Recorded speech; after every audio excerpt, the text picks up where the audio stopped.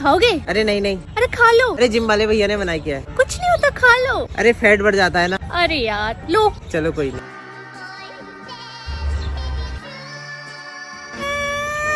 बहुत टेस्टी यार।